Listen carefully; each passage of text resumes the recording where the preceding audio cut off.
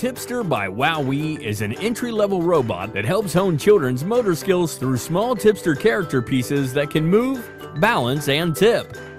How much is the Tipster WowWee? Slated for release in the third quarter of 2014, no price has been announced yet for this product.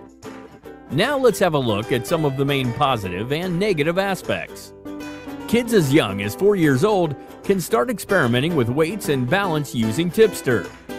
This electronic learning toy robot can play around, move any way you want it to, spin around, and tip over. The character pieces and ladders are small enough to allow easy manipulation by kids. Here's our conclusion. Learning will definitely be more fun and challenging thanks to Tipster by WowWee. Thanks for checking out our review. To know more about this product, click on the link below this video now.